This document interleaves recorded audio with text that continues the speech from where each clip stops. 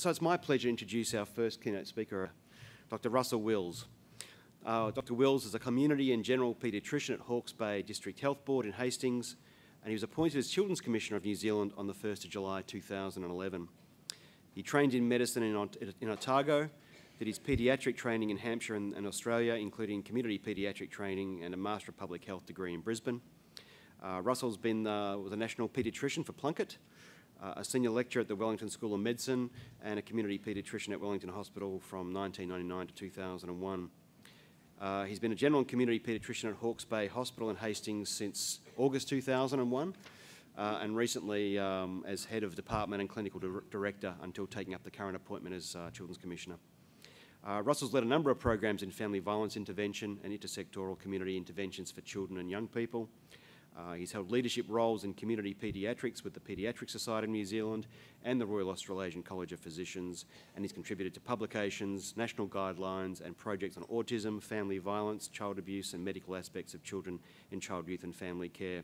And Russell wanted me to point out that his paper and uh, PowerPoint presentation will be available with the other keynote material and uh, presentations that we get uh, on the AIC website after the conference. Uh, today he's going to be talking about the topic Hard Earned Lessons, the History and Future of Child Protection in New Zealand. Please welcome Russell.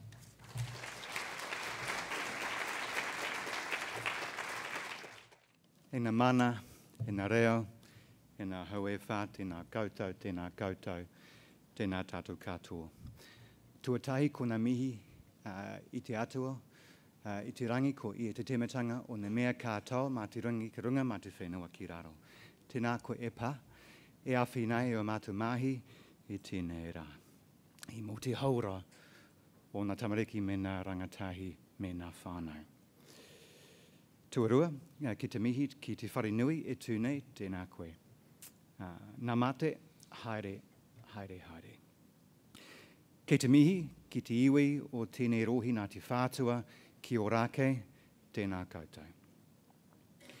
E mihi mana ki ngā rangatira o tēnei hui, tēnā koutou, ngā rangatira ki waho i Aotearoa uh, o ngā hau e whāhara mai, nau mai, piki mai. Ngā rangatira ki raro i Aotearoa, tēnā koutou.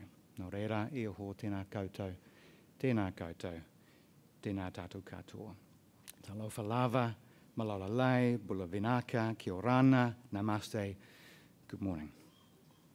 Um, Thank you, Adam and Paul, for inviting me to give this, this final plenary. It's a bit daunting to follow Dame Sian Elias, Patrick and Nicola, Kate Morris, Leonard de Moana, Des Runyan, Peter McClellan, uh, Tuila, Karanina, and the VCB chief executives. So no pressure then. But can I also give my welcome uh, to all of you from both within New Zealand and from without. Preparing this talk um, has taken me on a journey. It's been, I think, the most difficult talk I've ever had to write. But ultimately, I'm grateful for the opportunity.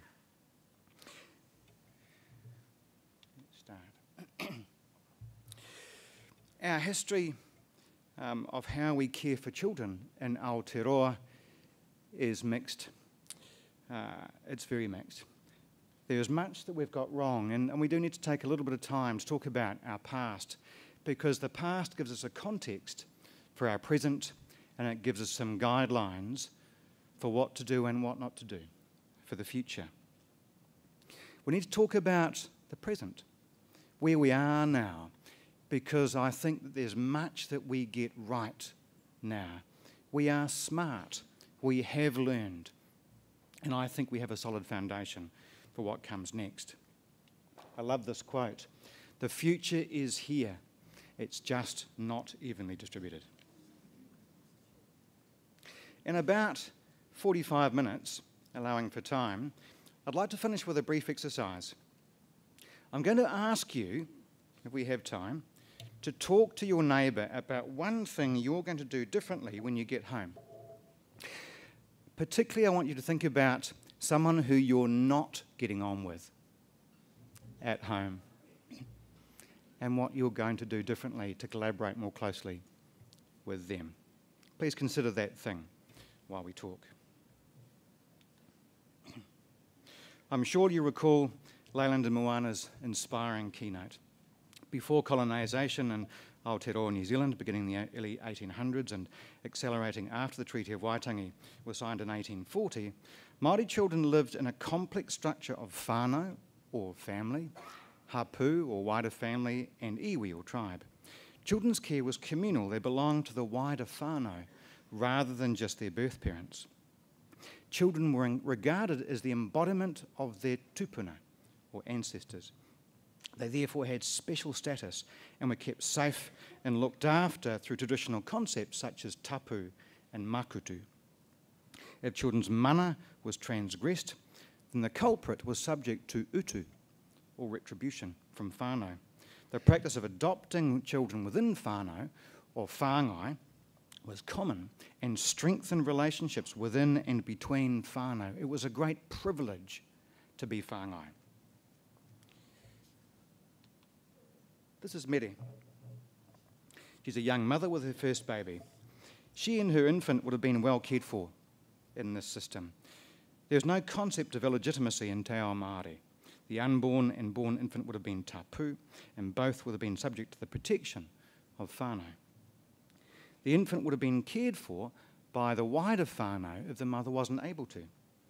She may, the baby may have been whāngaid, but this would have been a decision carefully arrived at by Kaumatua and Kuia, and as a means of strengthening whakapapa bonds, not because her mother couldn't have properly cared for her.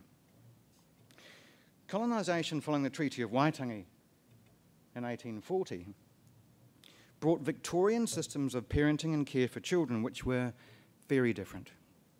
Children were considered chattels by the Victorians early employment was common, including in New Zealand.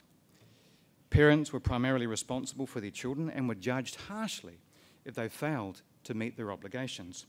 State intervention was justifiable only in circumstances such as poverty or extreme neglect. The eugenic view was common. Marsden MP Frank Mander famously said, Consumptives and imbeciles and weaklings who cannot possibly rear healthy children should not be allowed to marry. I wish that was a view I didn't hear in 2015. Free maternity homes, he held, were not a good thing because they would lead to propagating a lot of criminal children who would be better out of the world altogether.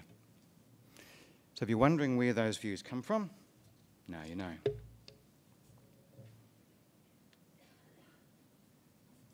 At the turn of the century, not surprisingly, things were not going well for children in New Zealand. Infant mortality remained stubbornly high at around 7%.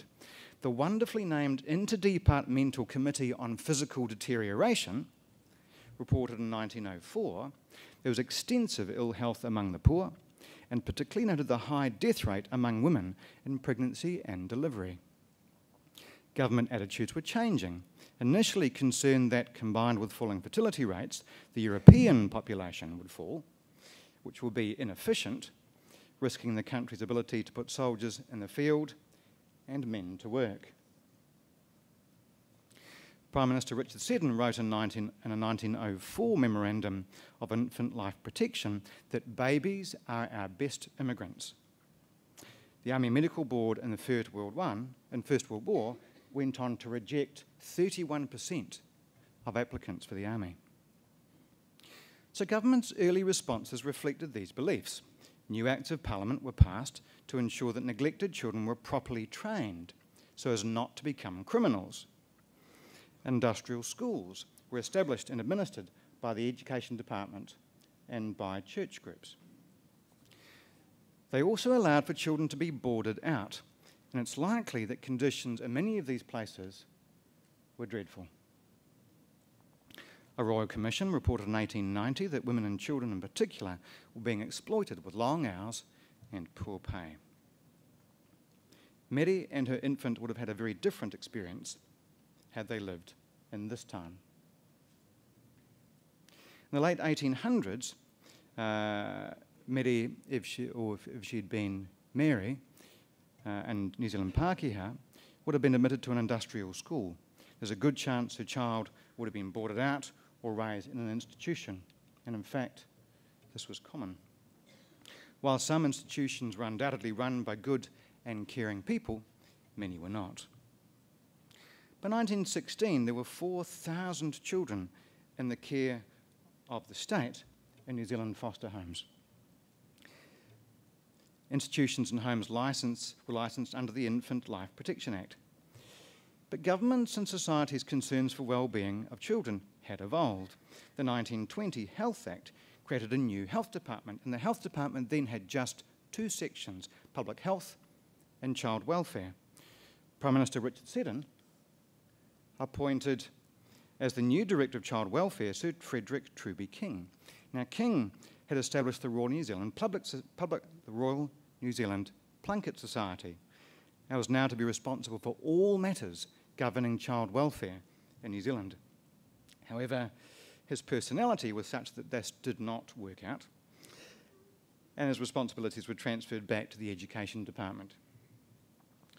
So this created a new role of child welfare officers and made it clear that government preferred children to be cared for in homes rather than institutions. It was also the first of what were to be many renamings and reorganisations for child welfare in New Zealand. The first half of the 20th century saw further evolution in how children were perceived by government, concern for ensuring the survival and well-being of children, to ensure a fit armed forces and a workforce, evolved to a concern for children's welfare in education in preparation for adulthood. Psychology theory from people like Freud, who you can see on the left there, and John Bowlby on the right, had begun to demonstrate the impact of neglect in infancy on adult behaviour, which is a powerful driver of child welfare officers' decisions to separate children from their families and whānau, often for long periods. This revisits Kate's point earlier about, uh, the over, about overvaluing of science. This is the beginning of the modern understanding of the effects of childhood experience on later adult behaviour. Both Māori and European children were therefore often separated from their families for long periods, and parents had little opportunity to challenge their decisions. Often, these were children who were offending or misbehaving or neglected or in poverty. Physical and sexual abuse were rare causes for bringing children into care in those days. Rescuing children from neglectful parents to save them from future criminality and mental illness became a prominent driver of practice then. For Mere, in the mid 20th century, the intervention of a child welfare officer would likely have been bewildering. There's a good chance she would have she would have been a child in a whānau that had recently moved from her marae and her extended whānau into the city for work.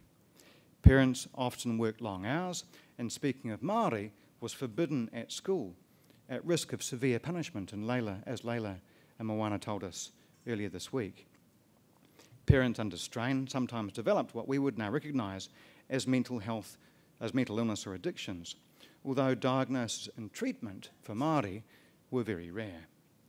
The child welfare probably would have been Pākehā, with little idea of Te Reo Māori, Mere's whakapapa links, or the networks that could have supported her, even if her own parents weren't able to. The likely outcome is that her baby would have been taken from her, possibly at birth, and fostered to a Pākehā family. Mere and her parents would have lost all contact and all rights to see or know the child. The child would have been brought up as Pākehā, with no knowledge of whakapapa customs, or language.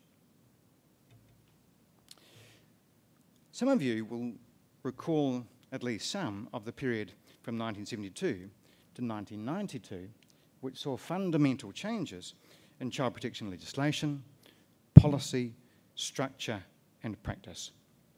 So the concept of child welfare gave way to the idea of a social welfare system with the vision of a coordinated service for vulnerable families in 1972, so here, the Department of Education Child Welfare Division and the Department of Social Security uh, were um, uh, recreated within the new uh, as the new uh, New Zealand Children and Young Persons Service within the Department of Social Welfare, so amalgamating child welfare with social security.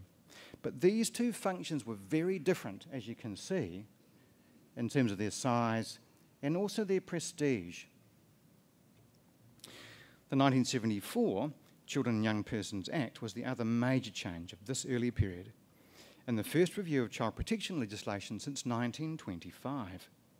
The new Act separated care and protection from offending behaviour for the first time, and Section 4 of that Act made the interests of the child or young person paramount for the first time. Research on fostering began in 1971 with the first large scale research here in 1981 by Mackay.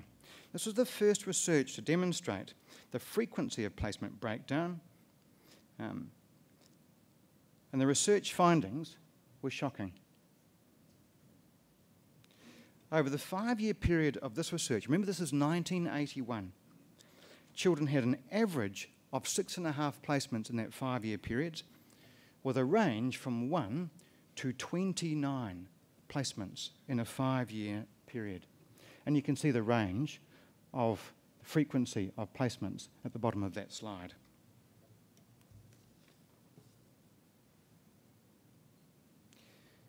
So policy quickly changed to emphasise planning and permanency. From July 1981, all social workers in the Department of Social Welfare were required to prepare a plan for a child in care within three months of entry to care, reviewed every six months. There was increasing regulation, recognition of specialist areas of practice, with the creation of specialist social work teams in youth justice, fostering, and adoption. More intensive work was done on entry to care to see if children could be returned. However, this meant that children who remained in care, of course, became more complex.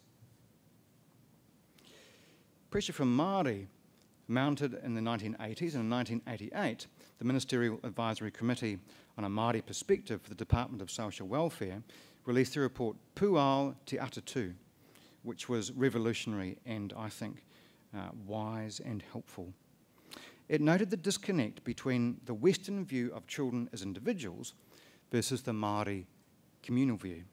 The report called for sweeping reforms, including a review of practice and policy, a review of the 1974 Act, identification of children's heritage and links, financial support for whānau placement, maintaining children within their hapu, and greater consultation. So these tensions led to the 1989 Children, Young Persons and Their Families Act.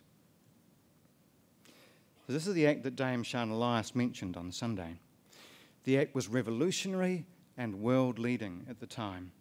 The tension between child rescue and kinship defenders that Nicola talked about was adroitly balanced in the principles in sections 5, 6, and 13 of the Act. So, Section 5 and 13 were in the original Act and include principles like participation of the child's whānau, hapu, iwi, and family group, and that relationships with these groups should be maintained as much as possible. The paramountcy principle, as it's now known, as Dame Sian talked about, was manifested in Section 6 but wasn't originally included in the Act. And Section 6 says that in all matters relating to the administration or application of this Act, the welfare and interest of the child or young person shall be the first and paramount consideration.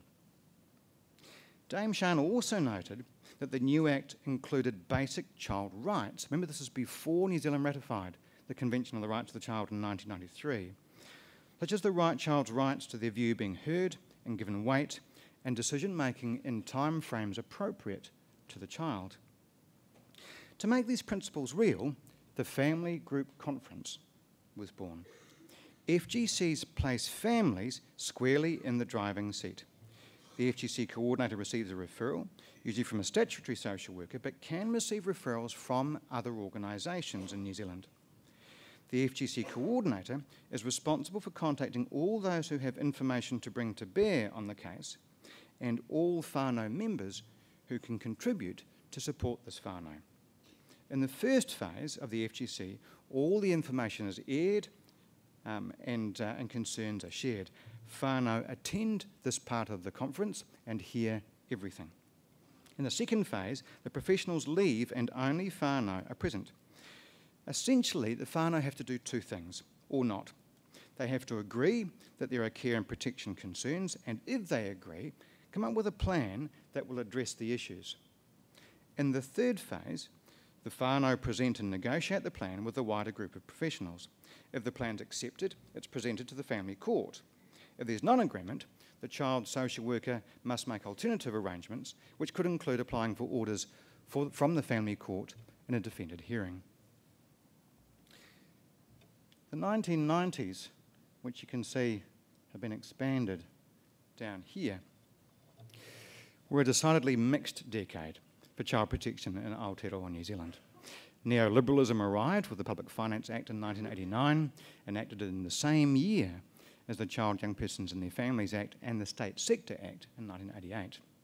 Crown entities now had output agreements with ministers that specified the quantity of each output. So funding was no longer based on assessed need, but on, on outputs negotiated with the minister. There weren't sufficient funds to support whānau, to attend FGCs, or to implement plans, as many of you, I'm sure, remember. There followed a series of rebrandings, restructurings, and legislation changes that must have seemed like a blur to those who were involved. The budget of 1991 saw reductions in social welfare payments to parents of between 10 and 30%, and introduction of market rentals to state housing, which increased child poverty in New Zealand by three times over just a couple of years. In 1993, we had the Privacy Act, which overnight made sharing of information much more difficult. In 1994, the Weeks Review led to a major restructure. In 95, the Children, Young Persons and Their Families Service was rebranded as the Children, Young Persons um, and Their Families Service, or CYPFS. 1998, CYPFS and the Community Funding Agency were merged into the newly named Children, Young Persons and Their Families Agency, or CYPFA. 1999, CYPFA was renamed the Department of Child, Youth and Family Services, or CYFS. Is anybody having trouble keeping up? I feel for you. Social workers were restructured into specialist teams, back again into generic teams, and back into specialist teams. Caregiver liaison social workers were appointed to work within education and health. I knew two of them, they were amazing, and then absorbed back into the operational positions. So, Judge Mick Brown, in his report that many of you will have seen, his review of child, youth, and family found a service then that was seriously under resourced, demoralised, with variable skills, experience, supervision, and support, serious difficulties with recruitment and retention, significant growth in numbers and complexity of notifications, decreasing availability of foster parents and other placement options, serious questions about some social work decision making, and a massive negative media and public perception. Tellingly, he wrote, the current workload expectations on staff are reaching the stage of being dangerous. Brown quoted extensively on the impact of neoliberal economics on the department, which I think was incredibly brave. His essential points still resonate today. The pressure on the department to shift costs of children in care to families and community services. That competitive tendering had led to fragmentation of services, reduced funding of preventive services, and a lower cost, lower skilled community social work workforce. That reforms had been implemented with a complete absence of longitudinal research to assess the impact on children, unlike, for example, Des Runyan's study. Concerns with training, qualification, and supervision of social workers, and that following the Public Finance Act, public service managers were accountable firstly for their budgets and were in fact rewarded if they were underspent. Judge Brown commented, viewed cynically, this would appear to be the paramountcy of the dollar instead of the child. So the decade 2000 2010 began with two high profile and tragic deaths of children whom Child and Youth and Family have been involved with. So James Whakaruru in 1999, and Saliel and Olympia Aplin, aged 12 and 11, in 2001. Both reports, which I've had to reread, make grim reading and tell remarkably similar stories. The cases also bore remarkable similarities to serious event reviews in other jurisdictions, such as Lord Laming's inquiry into the death of Victoria Climbié. In all cases, the families were well known to statutory social services, health services, police, and NGOs. James, for example, had had 40 contacts, 40 contacts with health professionals in his short life. In all families, there was extensive domestic violence. There'd been multiple short term interventions by various services to address this, and yet clear evidence that the perpetrator had not made the necessary changes to his thinking or behaviour. Most importantly, in all cases, there were multiple failures to communicate and share information between agencies, and no agency had the whole picture. There were obvious skill gaps across all agencies, and on occasion, failure to follow established policy across multiple agencies. Professionals talk to adults, but not to children. The department's response in the last 15 years to these reviews and deaths, I think, has been appropriate and helpful. In 2003, the department, MSD State Services Commission, and Treasury carried out a first principles baseline review. Along with a significant increase in baseline funding, the review recommended that government clarify the expectations, outcomes, roles, and functions of CYF, address the demand for CYF services, improve CYF's interface with other agencies and sectors, and build business systems, information, and workforce capability. The care and protection blueprint followed, and significant improvements were made. But despite the baseline review and implementation of the blueprint, like all jurisdictions around the world, notifications continued to rise. So this graph shows notifications from 2004 through 2011. So I'm talking about this period now between here, 2004, my battery's going to die, and 2007. In 2006, the department was merged into the Ministry of Social Development and renamed Child, Youth and Family, which it remains now. At the time of the merger, so this is 2006, um, CYF faced serious issues. Notifications had increased from 41,000 to 72,000 in just three years. For those of you who aren't working at CYF, just think about what would happen if referrals to your service increased by nearly double in three years. Those deemed as requiring further action had increased from 35,000 to 44,000. A hint of the impact this had on the effectiveness of the service is given by the number of review family group conferences, which increased over these three years by 40%. So CYF's new strategy for 2007-2010 was called Leading for Outcomes. The priorities were very reasonable and included quality social work practice, addressing youth offending, and achieving permanency for children. And a number of policies were implemented over this time that I think have been generally very helpful. So they include High and Complex Needs, which is an interagency fund that coordinates and funds care for children with very complex needs that can't be met within existing services. And Strengthening Families, which is a coordination mechanism for families with multiple agencies involved. A number of you work for those organisations and services, I know. A memorandum of understanding was signed in 2008 between Ministry of Health, Ministry of Social Development, New Zealand Police, and that was updated in 2014, this time signed by all 20 uh, District Health Board Chief Executives. So good things happened. But then there was the Mel Smith report into the serious abuse of a nine year old girl in 2011 and it had many similar themes to the reports of a decade prior, with multiple agencies involved over nine years, poor collaboration and information sharing, and no one agency with the full picture. What was slightly different about this report, uh, and more similar to Lord Laming's report, was the extraordinarily manipulative behaviour of the mother in this case. But Smith noted a lack of oversight of whānau caregivers, which contributed to the poor outcome for this child, and particularly criticised Child, Youth and Family for failing to communicate with other agencies. So his recommendations will be familiar to many of you.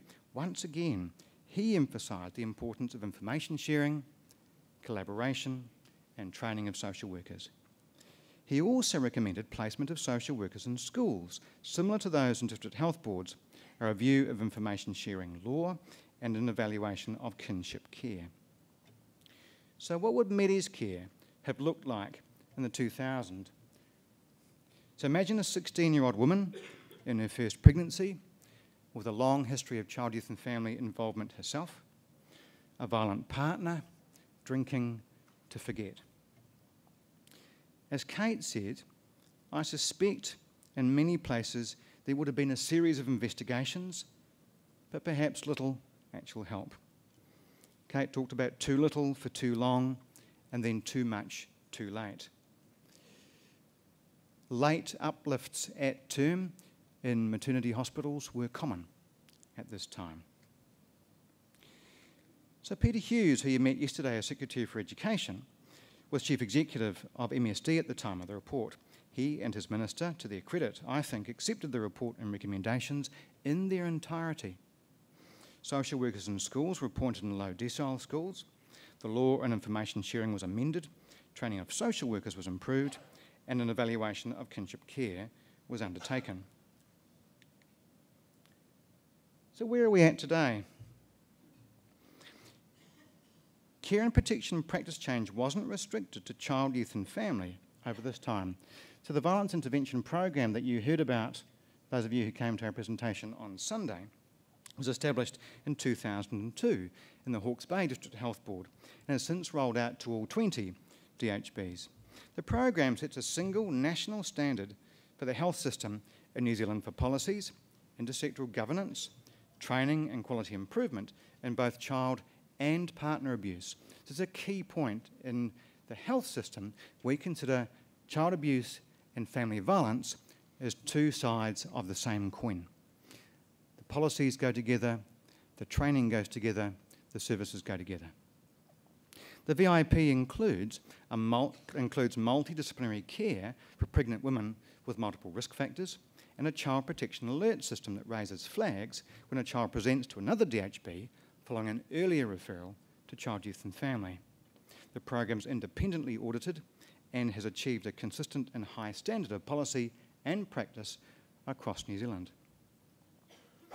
Child, Youth and Family's current strategy is Mō Tātou, 2012 to 2015. The goals include quality social work practice, working together with Māori, voices, of children and young people, Judge McClellan would be proud, connecting communities and leadership. The Children's Action Plan you heard about today from the VCB Chief Executives, the Minister and Sue Mackwell, is government strategy to improve outcomes for the most vulnerable children. It is an impressive change agenda across multiple agencies and includes a ministerial working group, a Vulnerable Children's Board of Ministry Chief Executives, a National Children's Director with a Secretariat secondant from all the relevant ministries, legislation change requiring all children's organisations to have child protection policies, recruit safely and train their staff in child protection, establishing multidisciplinary, multi-agency children's teams, and systems for sharing of information. So this, I think, is a genuinely ecological approach, the kind of thing that, that, um, that Kate and Nicola uh, were talking about earlier this week. It's a huge and ambitious workload across multiple ministries, but it's too early to tell if it's going to deliver the outcomes ministers are hoping for. More about that soon. In 2014, therefore, it was a good time to review progress over the previous 15 years since the Brown Report and with the Office of the Chief Social Worker's workload and caseload review. The report is remarkably frank and honest. It took some courage from the then Minister and Chief Executive to release it unedited. If you haven't read the report, I commend it to you. It's easily accessible and it'll be relevant, I think, to anyone involved in care and protection in any jurisdiction. And I would be surprised if a similar analysis of care and protection social work elsewhere produced recommendations much different. The review was extensive. Over 800 cases reviewed and over 800 staff interviewed. An independent advisory panel commented on the methodology, findings, and the recommendations. The review noted that six-fold increase in reports of concern that I showed you before to CYF over the previous 15 years, a significant improvement program since 2006, and discuss the current and likely future impact of government policy changes. The review made 12 broad recommendations, and they included, as you can see up on the slide, better defining what child, youth and families' core work is and is not. Stronger expectation of proactive information sharing both ways. Information gathering, conversations and collaboration to inform social work decision making and collaborative casework. Improved systems to support staff and more time to work with Māori, whānau, hapu and iwi. There were clear recommendations to improve the standard of undergraduate and postgraduate social work training to equip staff for the reality and complexity of care and protection, close quotes. Supervisors, they noted, also needed preparation with an additional skill set. The review also found that caseloads were unreasonably and sometimes unsafely high. The first solution must be to not take cases that are better served by other organisations, share the workload, and more consistently close cases that were not being worked on. But the report makes this point that these measures alone will not reduce caseloads sufficiently it is, in my view, inescapable that there will need to be an increase in statutory social workers. Finally, and I think very importantly, the culture of child, youth and family was examined. I agree with the Office of the Chief Social Worker that there are social workers and managers who go the extra mile every day for children and families, and that describes, I'm sure, all of you in here today.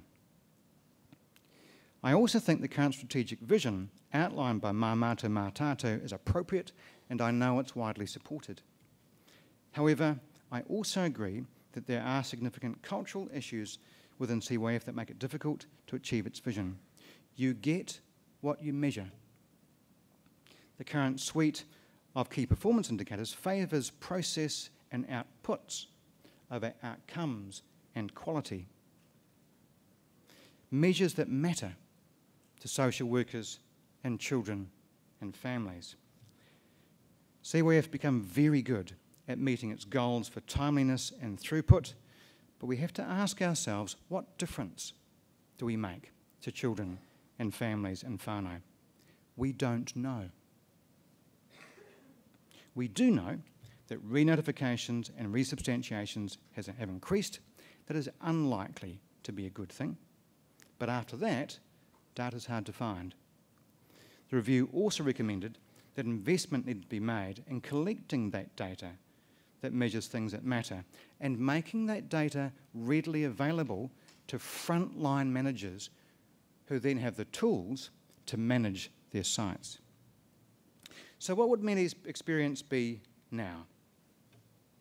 Well, in some DHBs, Mede's midwife would identify her vulnerabilities, early in her pregnancy and with her permission, her, re refer her to her local multi-agency group. That group is generally led by a senior midwife and includes police, child, youth and family, a mental health and addictions clinician, maternity and NGO social work. Each would share their information on Mede and a complete picture would quickly emerge.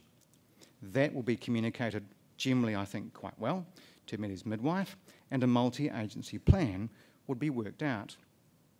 Often, a relevant professional, like, say, an addictions or family violence professional, would accompany the midwife on her next home visit, be introduced to Mede, and to together secure her engagement for that plan. Our experience is that young pregnant women want the best for their babies and readily engage when this is done well. We usually find the plan is adhered to and mother and baby are kept safe.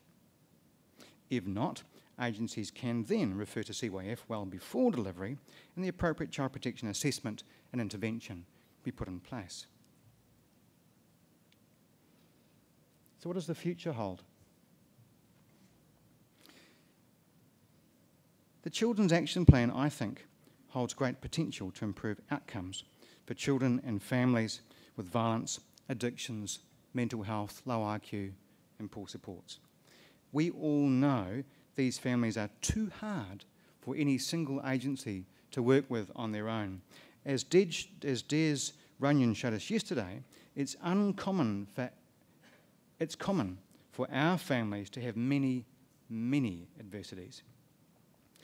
We also know now that a series of brief interventions don't work. You need sustained intervention. It can be adapted according to changing needs based on a stable relationship with a trusted and skilled professional, as Kate described. However, these changes in policy and practice will only work if we commit to them.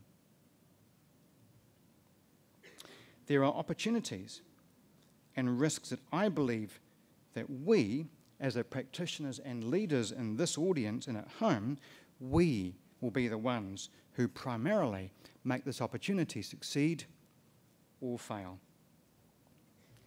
I've listed this is my idiosyncratic paediatrician review. This is not a government view by any means of what I think the opportunities and risks are. I really do believe this is the opportunity of a lifetime. I can't believe how lucky I am to be in this role at this time, and I hope you will feel like that too. I really do think that information is getting easier to share, and John Edwards has been very clear with us. The Privacy Act principles should not be, are not an impediment to sharing information with each other where there are care and protection concerns. That's the point of collecting the information. I can share information with you, you can share information with me, ideally with consent. But if we can't get consent and the purpose of that is to keep children safe, he is very unlikely to take any action. I think we need to have standards in all our disciplines for undergraduate training doctors, nurses, social workers, psychologists, and teachers. It's up to each discipline to decide what that standard should be, but then it must be taught at undergraduate level. So, for the academics in the audience, change is coming. Collaboration is the new black. It is a very clear expectation on all of us. But we need to know what that means. There will be local leadership. We will be improving services. I also think that there are very real risks to this. If we fail to address these, if we fail to grasp this opportunity, we don't get a second chance at this. I'm worried with the Vulnerable Kids Information um, System presenting us with a 9 11 problem. So much information, so much data, but no real information. Kate said to me two very wise things. I think there's a very high risk that we will expose unmet need. They'll become visible. And as I've said before to many audiences like this, there's a very high chance that we will overwhelm local services and local leaders. We need to expect that these things will happen and have a plan for them. They will happen. We mustn't hide it. We mustn't hide it. We need to make it visible and plan for them. And I worry about performance related funding, meaning that services avoid the families in whom change is hard to achieve.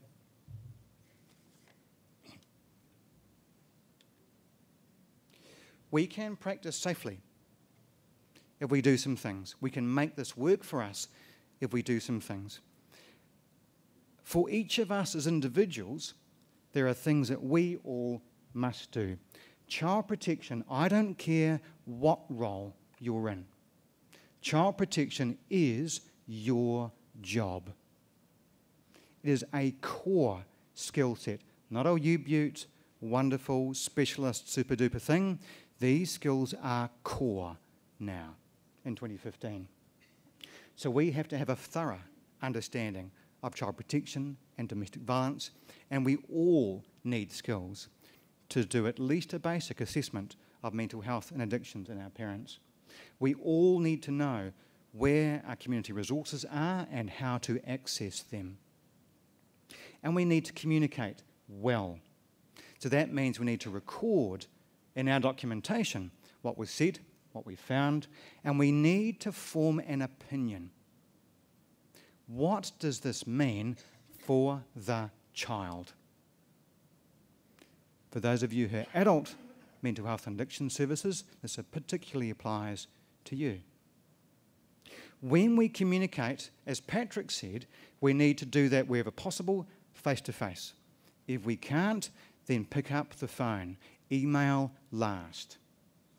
And if you don't get supervision and you're doing hard stuff every day, for goodness sake, get supervision. This stuff should not be taken home, it needs to be left at work. We need to know what collaborate means. So, Patrick talked about leaving our baggage at the door. What does that mean? It means if you hear yourself saying, they won't work with us, they are hard to reach, turn, look in the mirror. Are you easy to reach? Do the services you work with regularly have your DDIs, your cell phone, and your email? Do you circulate that on a sheet of A4 every six months or when staff move on? Do you? That's what collaborating looks like. We need to be sharing information. We need formal ways of doing that, and we need to do it every time. So, MOUs are good. I love MOUs. It's not about the paper, it's about the process of writing the thing and having a clear understanding of our roles. And within our agency, as leaders, we must know that we have good policies that reflect practice as we understand it. We need to know that our staff have read them, have been trained, and we need to know that they are adhering to those policies. And that means you must audit. If you don't audit, you won't know. We must provide our staff with blame free supervision and support. This next one's a biggie. How do we not let our staff become overloaded? That's hard. It's very hard. I'm not saying this is easy. And this last one, one of the things I really admire about Child, Youth and Family and the police of recent times is, is both organisations' willingness to accept feedback from other services. I'd ask you, how good are you in your service at accepting feedback from them? and of course, of course, really, really good services alone can only do so much.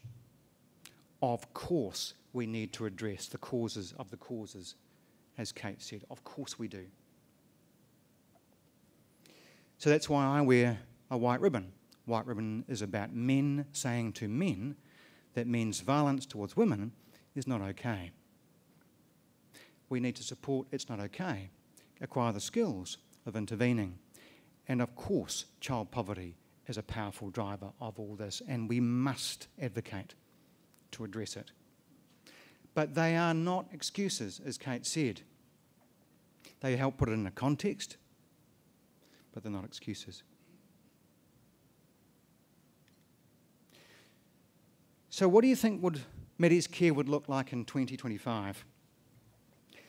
Well, I hope that in not the not too distant future, we will be really good at assessing both the risks and her strengths, and the strengths of her whānau. I would hope that we would know those services we're referring to and handshake her over so she knows what's happening. We're sharing her information with her consent. Have a clear and shared understanding of what's going on, a clear shared plan that we've negotiated and agreed with her and her whānau. We'll be talking often. And as we do this, the more we do this, trust and mutual respect and sharing of power and resources will occur. And I hope, as Leland and Moana said, we'll get good at understanding both the paramountcy of the child and how we nurture whakapapa and mana. so, to pull all this together, colonisation has been devastating for Māori in Aotearoa. We have a painful past as we've figured out how to find a balance between strengthening families and whānau and keeping children safe. We know what failure looks like and we know what success looked like. For this simple paediatrician, it comes down to three things collaboration, sharing information, having the, the right attitudes and knowledges, knowledge and skills to work with the families we do in 2015. Mō tātou, a, more ka uri a muri ake nei, for us and our children are after us. Nō reira, tēnā koutou. Tēnā koutou, tēnā tapu tapu.